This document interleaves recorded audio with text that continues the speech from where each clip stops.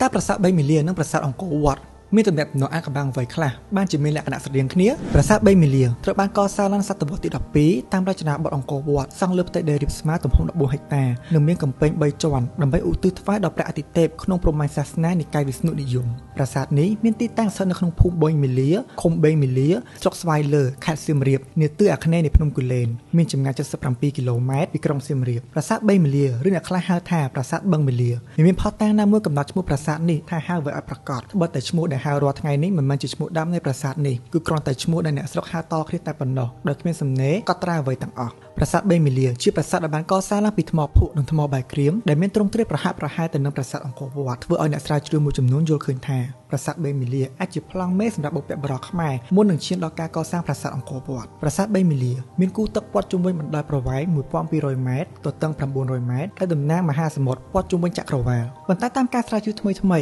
ដោយផ្អែកលើផុសតាងនៃការសិក្សាលើវិស័យបដិមាសាស្ត្រនៃប្រវត្តិសិល្បៈសំណង់ស្ថាបត្យកម្មព្រមទាំងសំណង់ប្រាសាទនៅផ្នែកខាងកើតនៅឲ្យអ្នកស្រាវជ្រាវយល់ឃើញថា ប្រាសាទនេះទំនងសាងសង់នៅក្រោយសម័យអង្គរចុងសតវត្សទី12ពោលគឺអាចសាងសង់ឡើងនៅចន្លោះសម័យសាងប្រាសាទអង្គរវត្តមុនសម័យសាងប្រាសាទបាយ័នប្រាសាទ3មីលាមិនបានបន្សល់ទុកនៅសាលាចារឹកដោយបានបញ្ជាក់អំពីការបរិច្ឆេទឆ្នាំនៃការកសាងនោះទេដែលជាហេតុធ្វើឲ្យបុរាណវិទ្យាមានចម្ងល់ថាតើរវាងប្រាសាទអង្គរវត្តនិងប្រាសាទ3មីលាមួយណាសាងសង់មុនហើយភាពស្រដៀងគ្នារបស់ប្រាសាទទាំងពីរនេះគឺតាក់ទងទៅនឹងរចនាបថក្បាច់ចម្លាក់ដែលមានភាពស្រដៀងគ្នាជាច្រើនហើយភាពខុសគ្នារបស់ប្រាសាទទាំងពីរនេះវិញគឺគ្រាន់តែប្រាសាទអង្គរវត្តជាប្រាសាទមួយដែលសង់បែបប្រាសាទភ្នំ